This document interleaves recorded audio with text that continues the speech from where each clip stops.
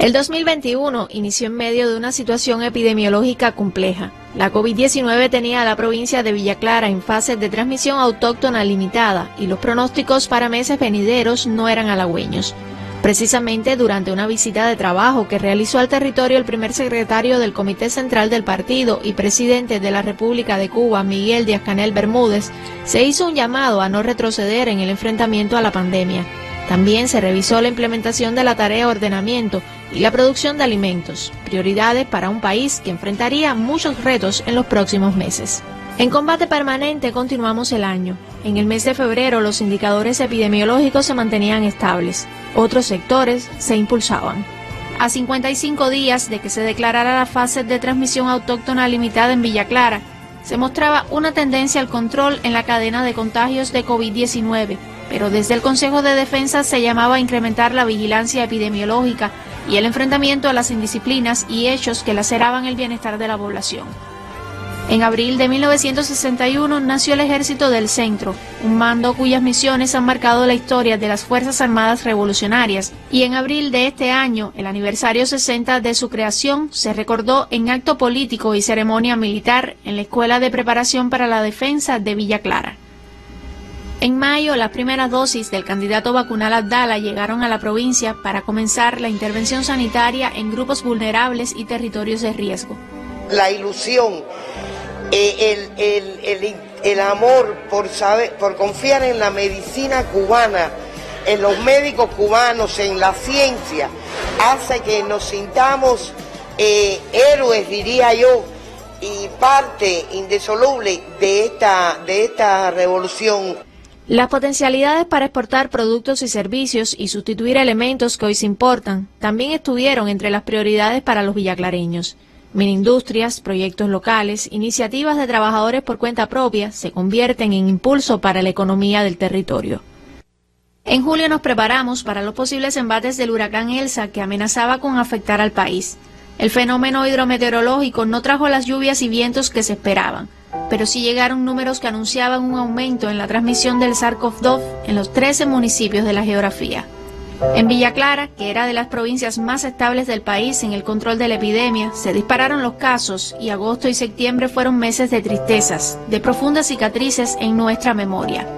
Como una luz de esperanza, llegó también el proceso de vacunación masiva y comenzó de manera paulatina la reducción de los contagios. De los cinco proyectos vacunales que desarrollaba el país, tres se administraron en nuestro territorio. La única posibilidad que yo pienso que hay para enfrentar a esta terrible enfermedad es tratarnos de inmunizar. Y tenemos esa concepción de por lo que ha hecho este país, por lo que, los esfuerzos que se ha hecho, porque esto ningún país de América Latina ha podido resolver esta situación. Es el esfuerzo de nuestros científicos, me siento muy orgulloso, porque han entrado en mi piel una dosis de sacrificio, de amor, de noches de desvelo, de todos nuestros trabajadores. En noviembre, el reinicio del curso escolar. El ansiado regreso a las aulas para continuar cumpliendo sueños con la gran mayoría de los niños inmunizados y siguiendo todos los protocolos sanitarios. Estoy feliz de haber comenzado el reinicio con mis profesores, con mis amigos. Me encuentro hoy súper feliz de reencontrarme acá en la escuela de nuevo, donde estoy contenta de que ya y más responsable de esta labor que ha pasado con la COVID. Llevaba 10 meses sin, sin venir aquí a la escuela, sin recibir clases, sin ver a mis amistades. Entonces hoy es un día muy feliz, muy importante. Significa compromiso, significa entrega para en medio de tantas dificultades eh, sanitarias, pues bueno, responder con este reinicio del curso escolar a la altura que hoy nos está demandando la dirección del país. También el turismo retomó su actividad. El 2 de noviembre el Aeropuerto Internacional Abel Santa María de Santa Clara reinició las operaciones de vuelos comerciales, luego de casi un año de paralización debido a la COVID, con un vuelo procedente de Toronto. Las instalaciones hoteleras comenzaron a prestar servicio con un estricto control de las medidas higiénico-sanitarias, tras meses en los que no se mantuvieron inertes, pues se trabajó en un profundo proceso de renovación. Como parte de ese regreso a la nueva normalidad, comenzó a retomarse la vida.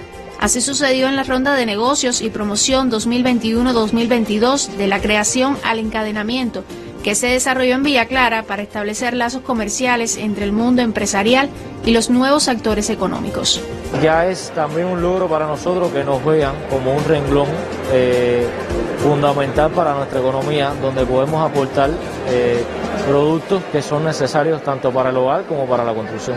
Es una cosa de familia eh, que la empezamos mi papá y yo desde hace algunos años atrás y, y el objetivo ha sido siempre llegar a un servicio cada día mejor y que el cliente que vaya se, sienta bien, que, que, vea que las cosas funcionan. Nosotros tenemos aquí servicio de cafetería. Antes era cafetería nada más. Y ahora tenemos cafetería, restaurante, casilla. Y, y, bueno, y nos dan la posibilidad de ahora de comprar a las, a las empresas mayoristas. ¿sí? Es decir, que tenemos una mejor posibilidad de ahora de la que teníamos antes. Es esta una provincia que se levanta y la vida cambia para bien. Y el pueblo reafirma que la construcción de un país mejor descansa en la responsabilidad de todos.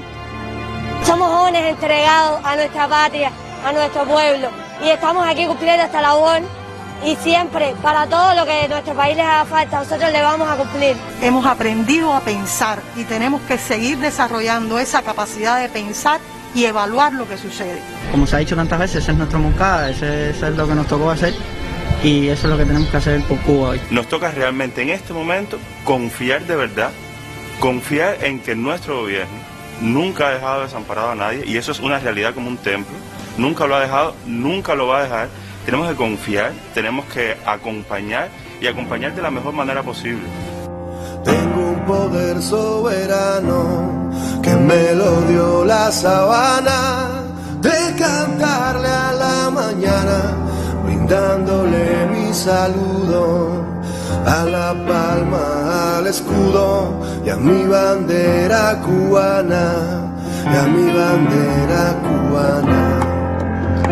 Desde Villa Clara, Griselis Moreno, Sistema Informativo de la Televisión Cubana.